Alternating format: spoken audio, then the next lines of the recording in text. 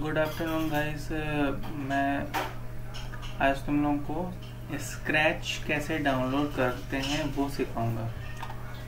तो जैसे हम लोग को पता है स्क्रैच में हमें प्रोजेक्ट बनाना है तो सबसे पहले आप गूगल पे टाइप करेंगे स्क्रैच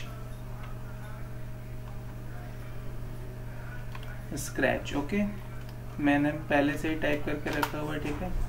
जैसे स्क्रैच टाइप करेंगे तो सबसे पहले लिंक आएगा तो यहाँ पे देख रहे हो कि यहाँ पे डाउनलोड लिखा हुआ है। ये डाउनलोड कर लो।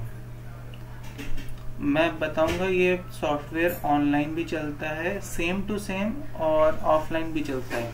लेकिन जिसके घर में अगर नेट की दिक्कत है नेट नहीं है प्रॉपर और बाहर जाके डाउनलोड करना पड़ता है हॉटस्पॉट से डाउनलोड करना पड़ता है मोबाइल चला के। तो उसके लिए मैं सजेस्ट करूँगा कि आप ऑफलाइन वर्जन इसका डाउनलोड कर लो। और जैसे कि यहाँ पे विंडोज़ पे पहले से ही क्लिक है और यहाँ पे डायरेक्ट डाउनलोड अगर इस पर आप क्लिक करोगे तो आपका ये देखिए डाउनलोड होना चालू हो गया है, ठीक है? क्यों? मैं नहीं करूँगा क्योंकि मेरे पास ऑलरेडी है तो मैंने इसे कैंसिल कर दिया है। और जब ये डाउनलोड हो जाएगा तो आपके पास control J दबाइएगा control J okay control J जब दबाएँगे तो आप डाउनलोड सेक्शन पहुँच जाएँगे। और जैसे कि मैं इसमें कर दूँगा show in folders show in folders में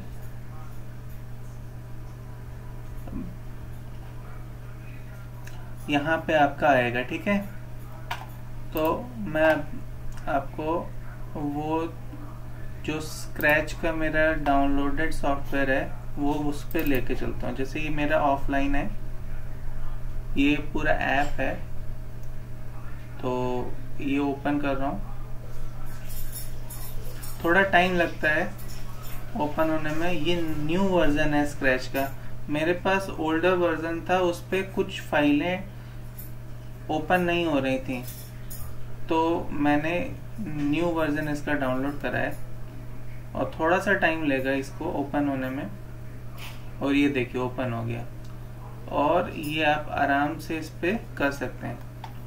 नंबर टू जिसके पास नेट की कोई दिक्कत नहीं है और और ये ऑनलाइन ये ऑफलाइन ऐप नहीं डाउनलोड करना चाहता है तो उसके लिए भी मैं बता देता हूँ। स्क्रैच पर आप गूगल पे जब स्क्रैच टाइप करोगे तो ये लिंक आएगा। आप इस पे क्लिक कर दीजिए।